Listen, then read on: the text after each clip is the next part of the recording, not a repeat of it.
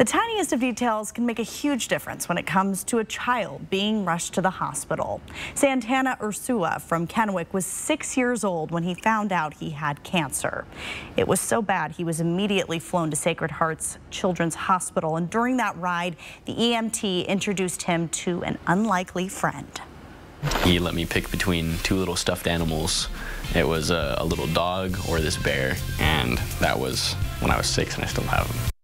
That teddy bear became a beacon of light for Santana, who ended up having to undergo cancer treatment multiple times at Sacred Heart. Watch Santana's story of resilience on Good Morning Northwest on Monday at 6 a.m. and find out the impact comfort items can have on a child's well-being.